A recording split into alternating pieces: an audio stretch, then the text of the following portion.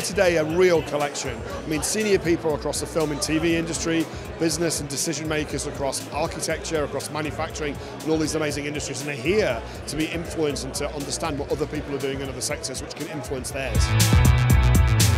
Brings together a group of people uh, that you wouldn't normally get together. All we care about is moving the technology forward, and Epic is a very sort of agnostic organization that really encourages its, its user base to do great things with its product. It gives us a way of showing the community all of the different use cases that there are for the engine out there, and it's great to showcase those and to celebrate our clients' success. It's going to be a really, really uh, cool afternoon. I'm looking forward to sharing with you some, some absolutely amazing stories.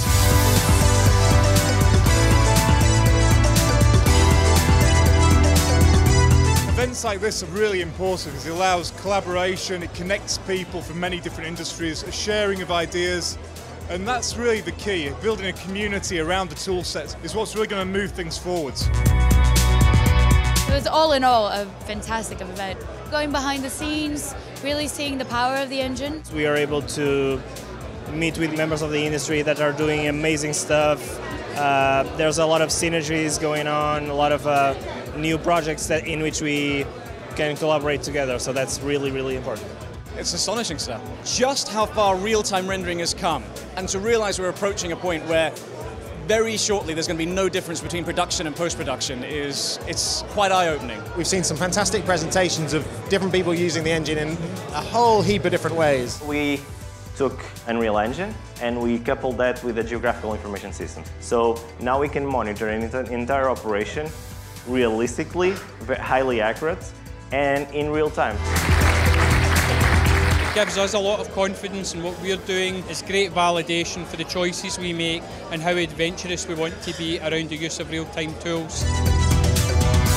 It's important just to get people together to basically open each other's eyes to see how widespread this is. You can see that they're just clicking and going, I never imagined it would be used in chemistry or it'd be used in uh, you know, automotive uh, simulation.